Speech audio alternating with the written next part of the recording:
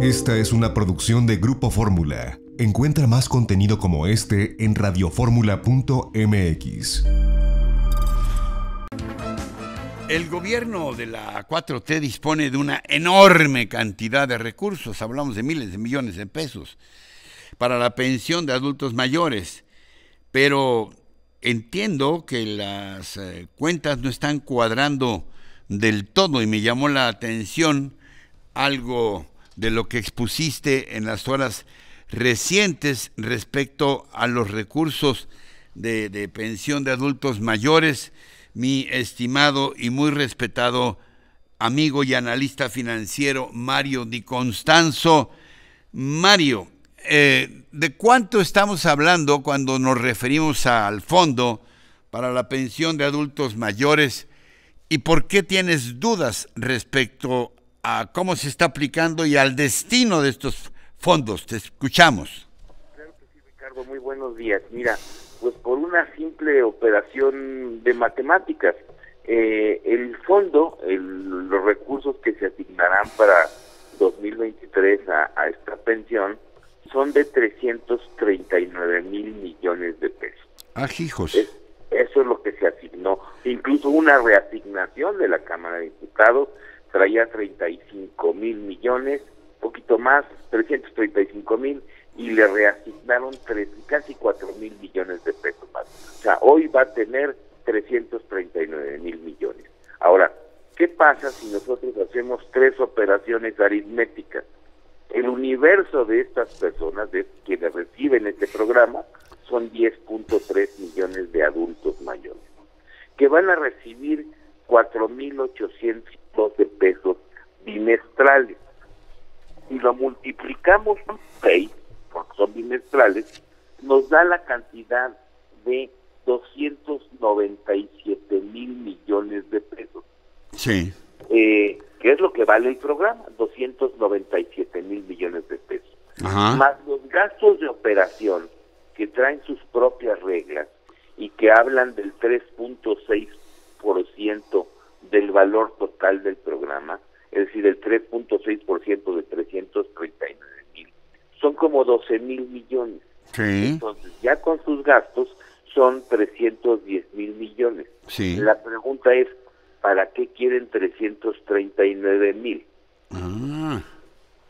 o sea, hay una diferencia entre 310 mil y 339 mil. Así es. Ahora, ¿qué, ¿de qué tamaños y qué implica la diferencia?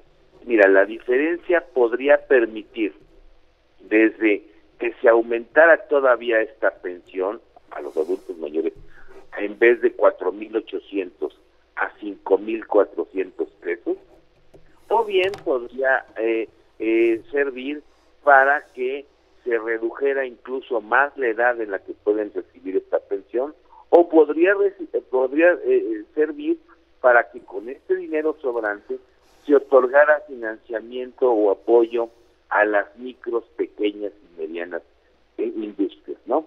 La pregunta es, ¿por qué están tan excedidos? Y ahí salen los sueldos de los siervos de la nación, los servidores de la nación, lo van a utilizar electoralmente para las dos elecciones, la del Estado de México y la de Coahuila, o para qué quieren esa bolsa, vamos a llamarle así, o ese presupuesto sobreasignado, si no le, si no van a beneficiar ni a los beneficiarios del programa, ni al programa en sí. Y lo mismo te puedo decir con los demás eh, programas, eh, en especial el de, el de personas discapacitadas al que le reasignaron. Ese trae un sobrante también de casi 5 mil millones de pesos, con el que podrías incluso incrementar el número de beneficiarios, pero no lo hacen. Entonces, eh, ¿para qué quieren esas bolsas escondidas? además de los gastos de operación, Ricardo, porque, a ver, el, el, el, de, los 10 millones de beneficiarios del programa de adultos mayores, casi 9 lo reciben vía dispersión, vía su tarjeta. Y tienen 15 mil millones, y vienen 12 mil millones de, gastos de operación, pues si nada más es dispersar, como si dispersaras una nómina.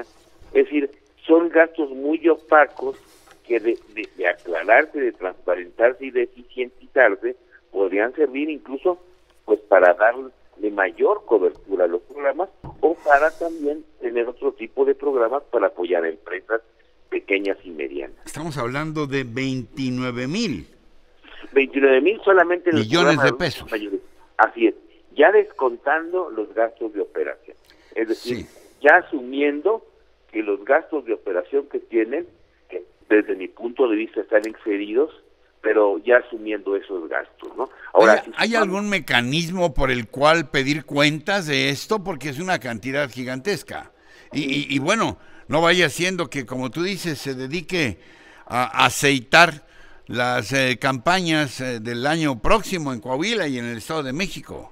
Mira, es muy difícil que los pueda revisar el auditor porque simplemente son como gastos de operación, son gastos a fondo perdido y están autorizados en las reglas de operación, ¿no? Eh, la mejor prueba es que, bueno, finalmente el auditor ha hecho señalamientos importantes sobre este programa, observaciones importantes, pero nunca ha referido estos gastos porque se asume que están descontados o permitidos, como viene cada año en las reglas de operación del programa que hacen las propias dependencias, pues digamos no no se revisan todos los gastos de gasolina, pero yo lo que he planteado o lo que se ha planteado ahí es que pues se revise porque además es muchísimo y nada más es es una dispersión de fondos, entonces tienes dinero sobrante y gastos de operación excesivos que pues eh, a mí por lo mal pensado no se me quita, yo sí pienso que es para el tema electoral.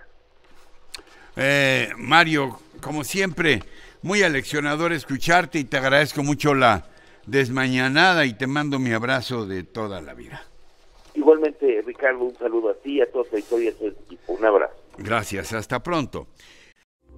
Esta fue una producción de Grupo Fórmula. Encuentra más contenido como este en radioformula.mx.